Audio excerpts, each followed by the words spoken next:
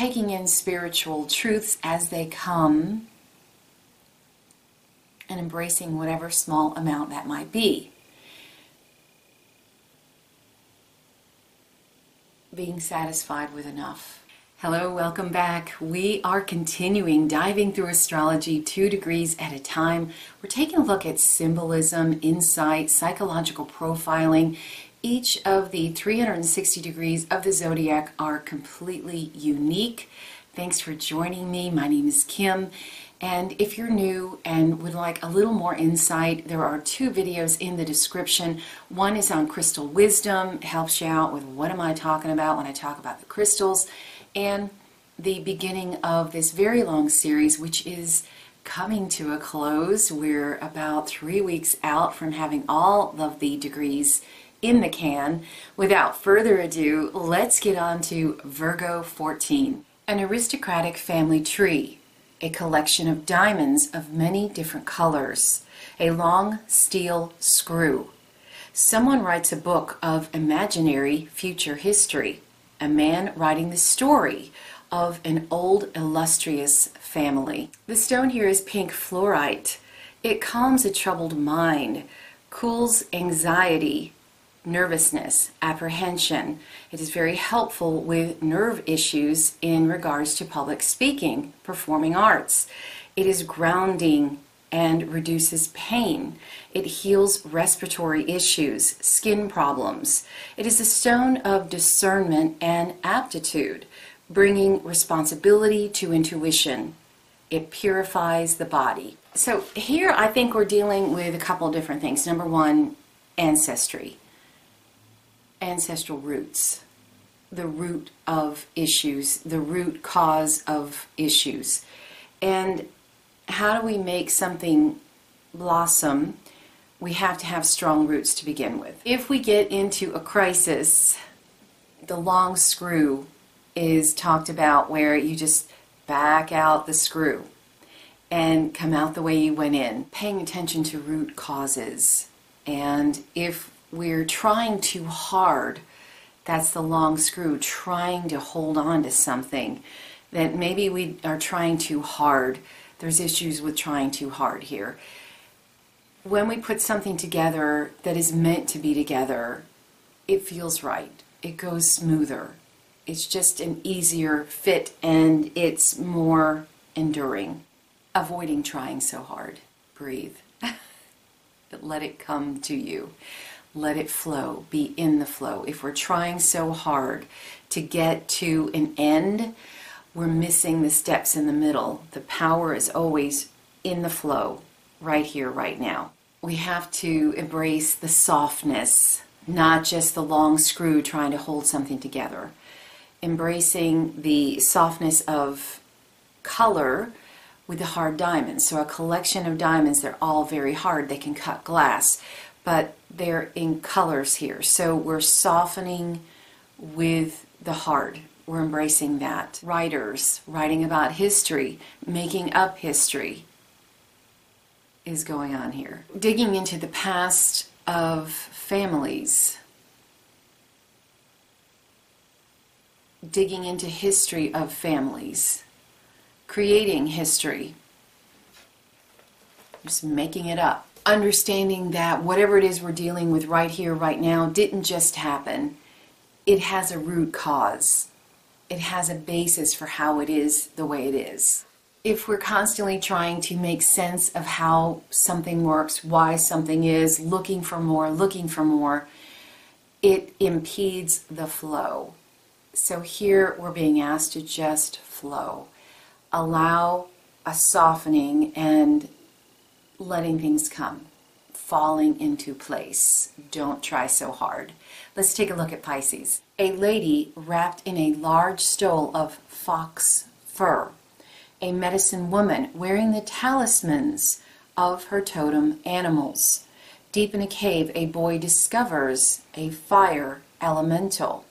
Unconcerned with how he is to escape, a man explores an infinite library.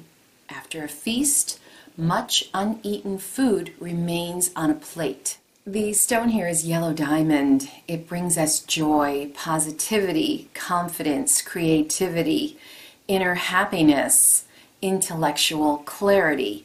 It resonates with the root chakra and the solar plexus. It is grounding. It enhances feelings of security and safety, stability. Gives us constancy, dedication, encourages trust in relationships and situations. It attracts abundance, boosts our charm.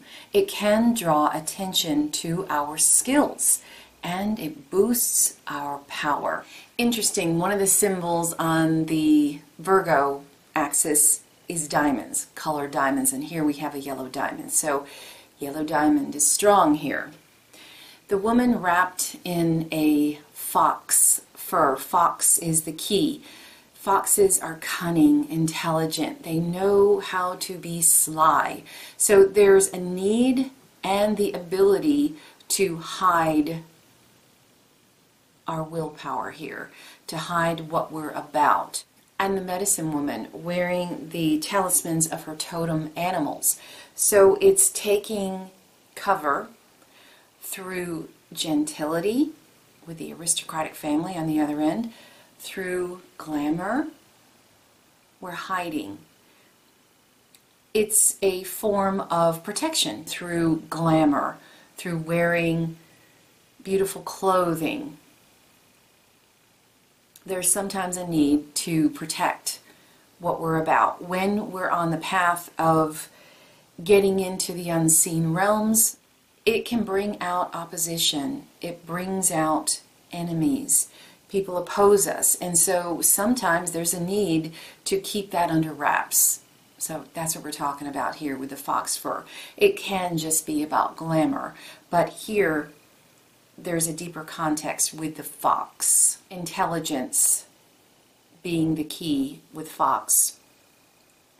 Hiding the true will. Talking about an uncontrollable urge to learn things, the man being unconcerned with getting lost explores the infinite library.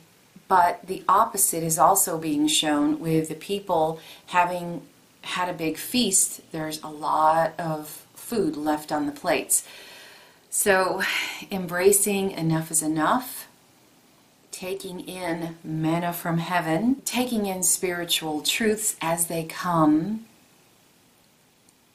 and embracing whatever small amount that might be. being satisfied with enough, feeling satiated with what we have, with what we are presented with. Some things we're not ready for. And until we're ready for it, we take each breath, we take each bit of manna from heaven, and we rejoice. We enjoy it. We feel satiated. And we stay that way as best we can in the moment, in the flow, until the next comes, knowing that when we're ready, the door opens. Until then, be satisfied. And it will take away some of the frustration and the trying to push and make things work when maybe it's not time to make things work. The long screw on the other end. Flow and allow be satisfied. There's completeness even in the smallest part that we get. Believe that. Embrace that. It'll go easier. The spiritual realm protecting itself with the fox fur, and us protecting ourselves. We don't tell everything. We're truthful, but we don't show our hands all the time. Sometimes it's dangerous to do so. So, feeling satiated with what we have, not trying too hard, wearing a coat of fur, a fox fur, when it is called for. So that's what I have for you today. Thanks so much for being here. Give me a like if you're enjoying these. Subscribe for more. Leave a comment if these degrees are strong in your chart and you'd like to leave some insight if you have a different take on these symbols. And until next time, take care.